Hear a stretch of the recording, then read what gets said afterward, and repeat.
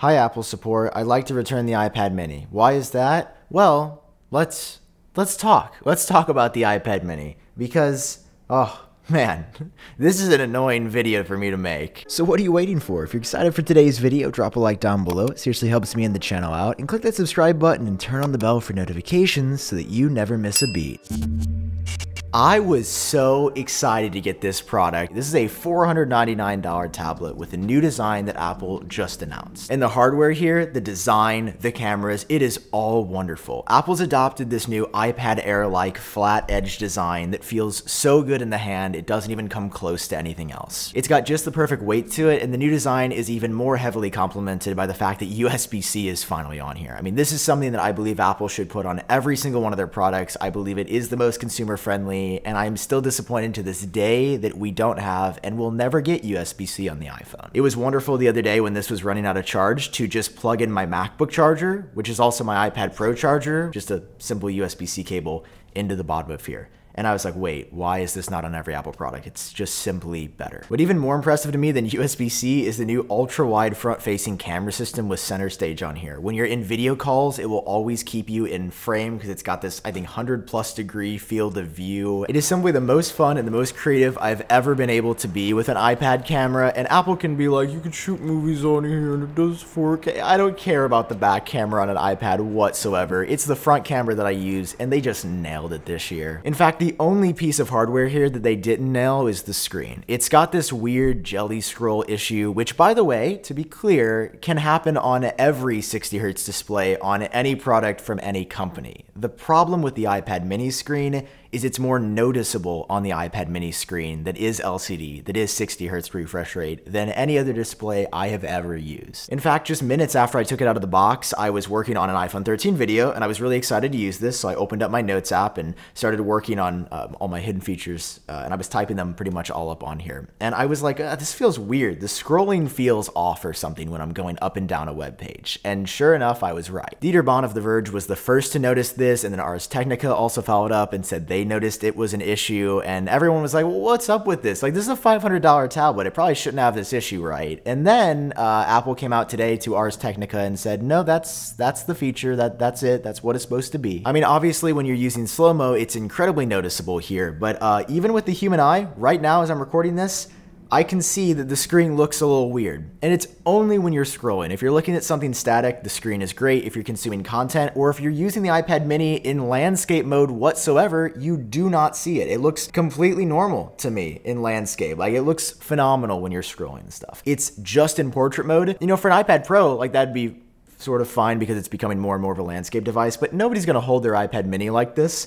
It's so small and it fits in your hand perfectly like this so I'm just frustrated that the main use mode is where I notice it the most. But to me, it's still a really good looking LCD panel and you know, it's 60 Hertz like Apple's other cheaper iPads. Um, it's still a good screen. At the end of the day, even with Jelly Scroll, it's still a good screen. It's just something I wanted to make clear that I have noticed. No, guys, in fact, the uh, Jelly Scroll, it pales in comparison to my issues with iPad OS. And really at this point, the only fair analogy I have for iPad OS is that kid that just doesn't get it through his head that he's gonna fail and drop out of school if he doesn't get his act together. He's failed every test, he's not doing his homework, and then Monday comes around, he knew he had a quiz, and he still didn't prepare for it whatsoever and failed yet again despite everybody at the school trying to help him. And that's what iPad OS is. Everyone who cares about the iPad has told Apple, this is a problem, we want to see better. I mean, this is the 12.9 inch iPad Pro. You guys know how critical I've been of this product, but uh, this is a shining star. iPad OS being not that powerful on the iPad Pro is incredible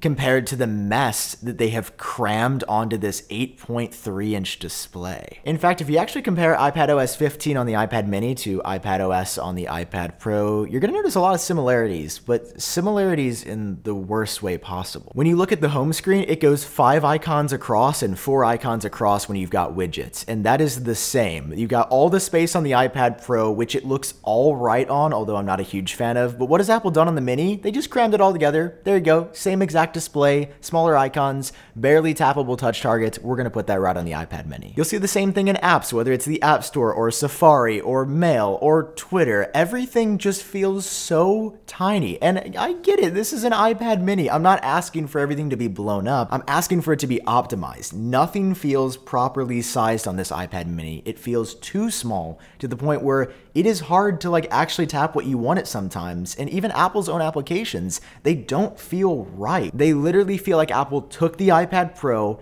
and scaled it down with no thought about user experience. And not to mention you can make the dock this small on here, I mean, I can tap it, but barely. And you might say, all right, well, don't worry. Apple has included an option in settings to make things better. Yeah, you go to home screen, you use large app icons, and the app icons here are incredible. So I'm like, oh, it probably scaled the entire interface. Just like Apple has regular or zoom mode on any iPhone that you buy, where you can blow everything up a little bit, I assume that on the iPad, it'd be the same concept. Apple has something that was made for a larger iPhone, but on a smaller iPhone, maybe you want bigger touch targets. Nope, not at all. Every app you use is simply scaled down from the iPad iPad, and it genuinely feels like a $150 software, or maybe $200 software running on a $500 device. It's unlike anything I've ever seen from Apple, a company that traditionally nails hardware and software. I continue to be literally bewildered and amazed at how they bork this so badly year after year. I mean, they've got the best people in the world working there and it just seems like nobody cares about the iPad. They even they reinvented the iPad mini. They brought it back to life after really not updating the design at all for like 7 years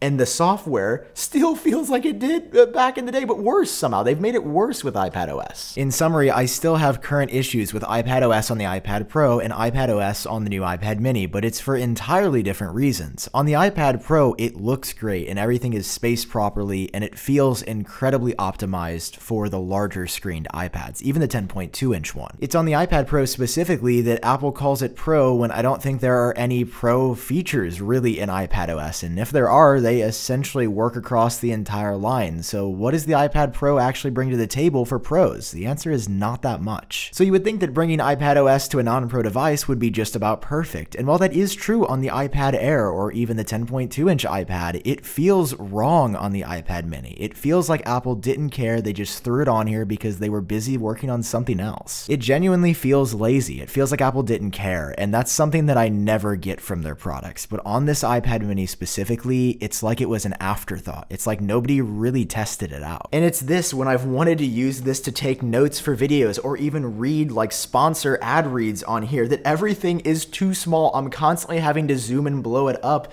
because, and no, it's not because I wear glasses. It's because I have no issue on any other iPad. It's just on this iPad mini. There is something wrong with the scaling and with no current option to make the scaling better, I can't recommend this product to myself, first of all, but also to many of you. But let me be clear here. If Apple adds a scaling mode, if they improve the software and the touch targets and make it actually optimized for the iPad mini, I can recommend this device. But right now, I just don't like it. It doesn't feel like an iPad should. It just feels cheap, and I attribute that predominantly to the software. Mean, maybe the Jelly Scroll adds a little bit to that, but it's like 80% software is my issue here. So that's why I'm returning the iPad mini, and I hope that Apple fixes things in the future, but it's not fixed now, and the product's out now, so that's why I'm returning it. All right, hope you guys enjoyed this video. Hope it helped you make a purchase choice. Uh, yeah, this is the iPad mini. All right, love you guys. Thanks for watching, and I'll catch you in my next video. Peace.